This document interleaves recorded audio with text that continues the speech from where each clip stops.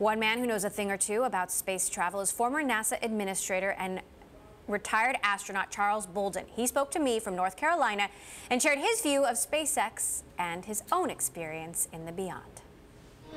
It's a continuation, actually, of, of passenger flight.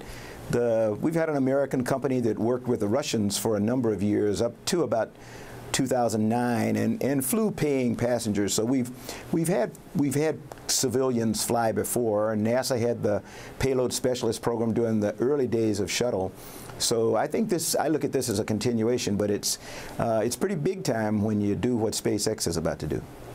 Uh, this trip is slated to happen in 2023. The rocket has yet to be built. What do you think the biggest challenges, concerns, and risks are?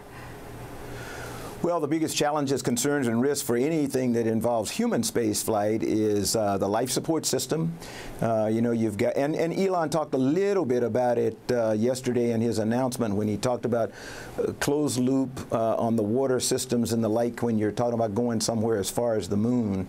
Uh, although it's only days, you know, you, you can't go in and they can't just take a couple of bottles of water along with them, so they've got to be able to have some way to either recycle water or produce it in on the shuttle. We used uh, the fuel cells with oxygen and hydrogen, and one of the byproducts was water. So you're looking at closed-loop life support systems for air, water, uh, filtering waste or at least taking care of waste and the like. And um, you actually want to make sure that your your uh, your systems are as reliable as possible. That's that's the biggest challenge. Only two dozen astronauts um, made that journey back in the Apollo era. Why is it taking so long to go back to the moon?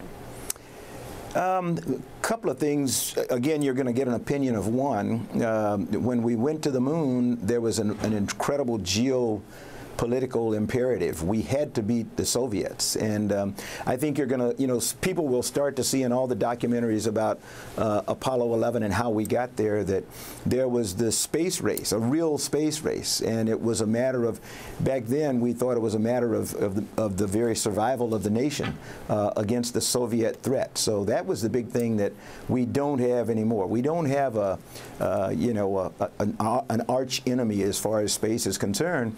And it's because we partner with almost everybody that we can. Uh, as much as we can't get along with the Russians here on Earth, uh, in space, they're probably our number one partner on the International Space Station. The two primary partners there are the U.S. and the Russian Space Agency, Roscosmos.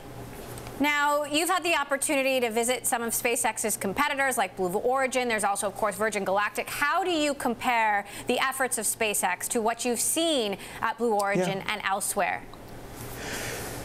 Well, I'll tell you, um, I I think everybody's doing their utmost. Everybody's working at breakneck speed. Um, I, when we were talking a little bit beforehand, I, I, referred to SpaceX and Blue Origin as the tortoise and the hare, and it's I just use that term because SpaceX is very visible, very vocal, uh, sets great goals and everything. Uh, you have a company like Blue Origin that has many of the same goals and aspirations, but they're very quiet. Don't talk about it. They're just following a measured schedule of activities. And I think um, you're going to see that they're going to be side by side when we finally start talking about humans uh, routinely in space on a commercial spacecraft. Uh, my, my expectation is that Blue Origin and SpaceX will be, they'll be right out front, uh, right alongside each other, and you know, the, that's why I refer to them as the tortoise and the hare. And you've been up in space. Was it worth it? Oh man, was it worth it? You know, I I got to free it. I, I, just all I had to do was be a Marine, which was easy for me.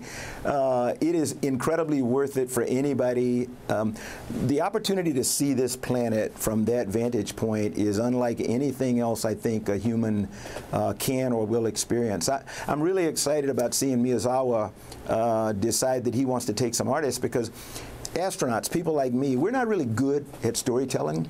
Uh, I work on it really hard, uh, and but I always still use the term awesome uh, for Earth, you know, the view of Earth from space. But awesome is an overused word. I think artists, uh, musicians, uh, visual artists, writers, they will probably help us understand this incredible planet on which we live far better than any scientist or mathematician or engineer or somebody like me can, can do.